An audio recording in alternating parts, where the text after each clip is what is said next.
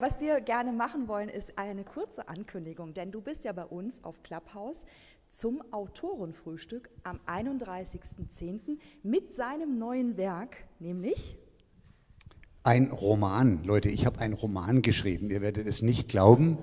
Ich habe ja Sachbücher bisher geschrieben